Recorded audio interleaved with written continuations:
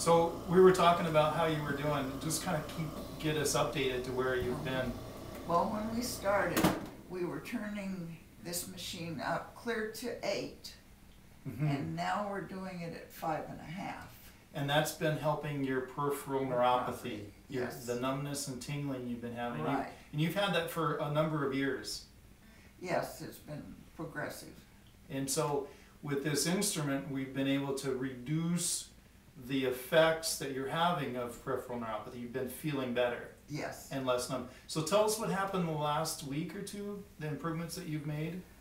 Well, um, the last time we did it, um, my feet have been numb all the time, but the last week, uh, my heels for several days have not been numb. Okay, great. So- Isn't that great?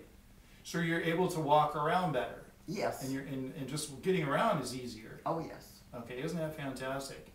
And and it's and it's progressing up. You- You're starting to feel more and more feeling in your feet and legs now. Yes.